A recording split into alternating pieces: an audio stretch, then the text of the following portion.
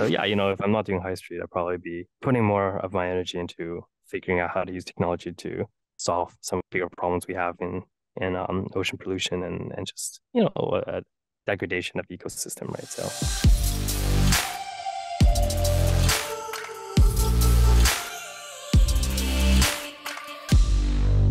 We are about to enter the Halborn rapid fire section. How ready do you feel, Travis, on a scale of zero to 10? My God, it's 4:30 in the morning. I guess it's almost five now, so I suppose I'm a bit more ready than I was half an hour ago. So uh, uh, this is going to be very easy for you. We're looking for very quick uh, one sentence or a few word answers. I'll I'll go with five questions to keep it simple. So yeah, let's just begin. You have like a super sick avatar out there and a setup. So if you were to describe that, to I don't know, like a five year old child, how would you describe it? Oh, I mean, like this is your dream virtual home, um, and uh, suppose uh, I'm the angel who can potentially make that happen. this is actually from Ready Player Me. I I really like what those guys are doing as well. So shout out to them.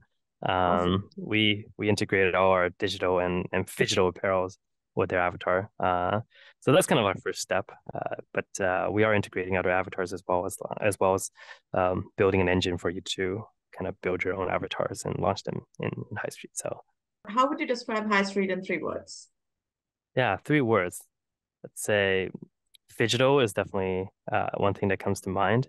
I want to say decentralized because we spend a lot of effort making sure our token is decentralized. Uh, you get the holders. And the end, I think, is just uh, a residency because we really want you to stay. Okay, what's your favorite book or podcast that you've been listening to lately?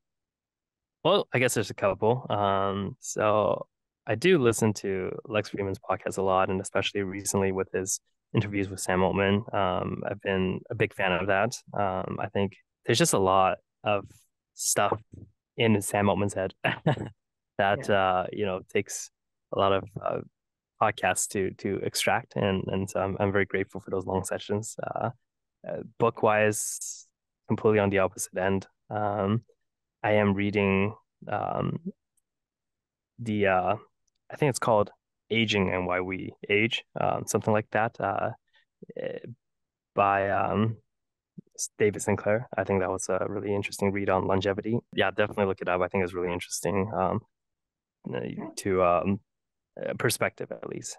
Sounds fascinating. All right, so if not High Street and this right now, what would you be doing? Oh God. Um, so I'm very passionate about um, diving and you know ocean conservation. So I've been doing that lately, just on my on my kind of like own time, I suppose. Uh, what little I have, I've been doing a lot of ocean cleanup diving. Um, just uh, I'm a big free diver and scuba diver, so I've been spending a lot of time on the shorelines. Um, I was in the Mediterranean for a bit, um, doing brand stuff. So at the same time, just you know, been doing doing um, my part, I suppose, in, in that. So yeah, you know, if I'm not doing high street, I'll probably be putting more of my energy into figuring out how to use technology to solve some bigger problems we have in in um, ocean pollution and and just you know a, degradation of ecosystem, right? So hypertonic farming is something I'm thinking about uh, a lot, um, or just you know sustainable underwater farming in layman terms, I suppose, as well as other things uh, more far fetched like cetacean communication. I'd always been a big fan of the prospects of interspecies communication. So um, spending my, I think, background with you know, both computer vision and just a little bit of machine learning on that could be uh, a, good use of time.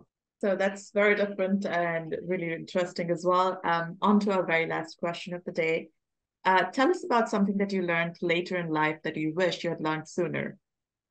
Oh, so many. I've just been a train wreck when I was younger, I suppose. But um, I think the idea of um, seeing the world as more more or less uh, connected bits and nodes and being able to understand that everybody is going through life with their own struggles is something that I wish I could internalize better um, when I was younger. It's always sort of like a, you know, when you're young and and and everything is is sort of new and novel, and you're you're kind of the challenger facing the world. And as gamers, we always look at ourselves as protagonists trying to you know fight the world, the PVE type of thing. Um, and I think the ability to empathize really come with age. Um, you see the various struggles, the various stages that people have and and, and are in in their lives. And I think that um, it gives you an ability to understand them better and to be able to forge better relationships as well as um, you know collaborative opportunities.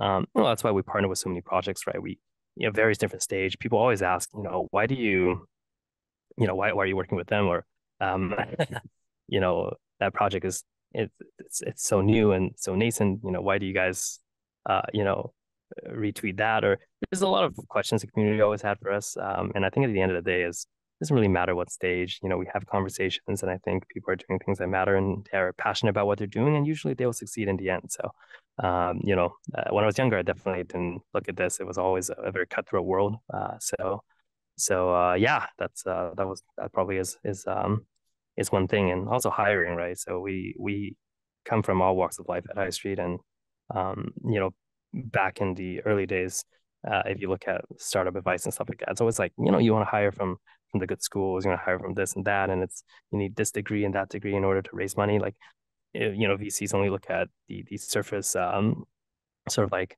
um, team credentials. Uh, but now, you know, after so long, you realize the, the best people are the ones that nothing to begin with and really grow up with with the company and the team. So, um, yeah, definitely something that that I took to heart um, of late. Yeah, empathy and humility are definitely always uh, one of those most underrated things in life.